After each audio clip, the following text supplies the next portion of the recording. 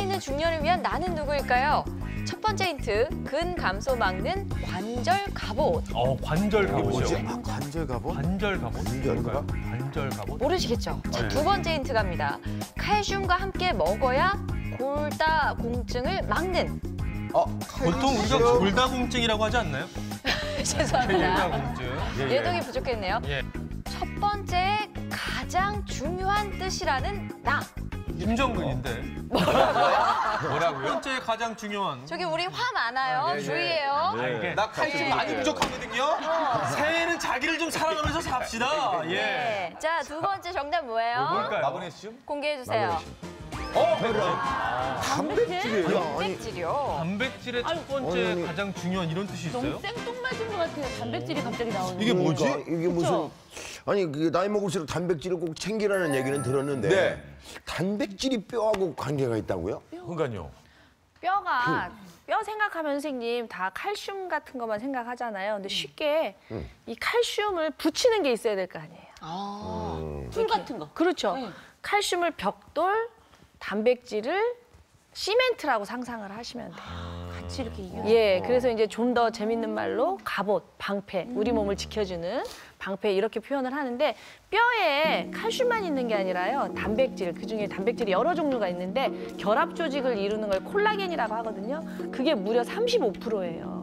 그러니까 단백질을 섭취하지 않은 쉽게 말해서 밥하고 김치만 먹으면 절대로 골다공증이 해결될 수가 없는 거죠.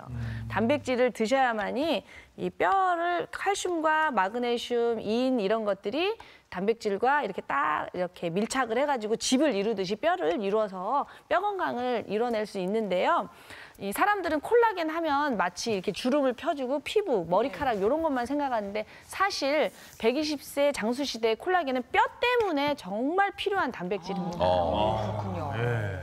이게 병상에 오래 누워 있으면 우리 뼈하고 근육이 많이 약해지죠. 네. 그래서 실제로 병명에도 우리가 disuse atrophy라는 그런 질환이 있는데 그게 뭐냐면 disuse 사용하지 않았기 때문에 뼈하고 근육 신경이 위축 없어진다는 아, 그런 이제 그래요? 병이거든요. 그래서 실제로 이제 제가 신경과 전문 의사인데 뇌경색 환자분들을 많이 보잖아요. 그래서 이제 마비가 돼서 이렇게 누워 있어서 열심히 막 치료를 해서 이 마비는 풀렸어요. 그런데 그동안 오래 누워 계셔갖고 사용을 하지 않았기 때문에 맞아. 근육이랑 뼈가 약해지니까 마비는 좋아졌는데 힘이 없어서 걷지를 못하는 이제 그런 분들이 많습니다. 그래서 이 단백질을 굉장히 제가 진료하면서 많이 섭취하시도록 이렇게 강조를 하는데 사실은 이 어, 단백질이 뼈하고 근육 이런 것뿐만 아니라 우리 뇌 안에 있는 뇌세포에서 신경 전달 물질이라는 게 있어요. 우리가 김한석 씨라고 부르면 김한석 씨가 딱 소리를 듣고 기억을 하잖아요. 어 이게 어. 내 이름이네.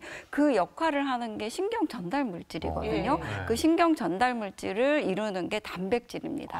그러니까 이 단백질이 없어지면 뇌세포 안에 신경 전달 물질도 감소가 되죠. 그러면 뇌 기능이 떨어진다는 거죠. 뇌 기능이 떨어진다는 거는 기억력, 인지 기능이 떨어지면서 치매가 온다고 생각을 하시면 되겠습니다. 그래서 뼈 건강을 위한 방패로 또 치매 예방을 위- 위한 근원적인 중노년기에 반드시 챙겨야 할 영양소가 단백질입니다.